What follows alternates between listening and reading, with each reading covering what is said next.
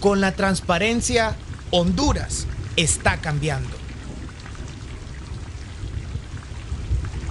Recuerda que tus denuncias se las puedes realizar al 130 desde cualquier teléfono. Presidencia de la República.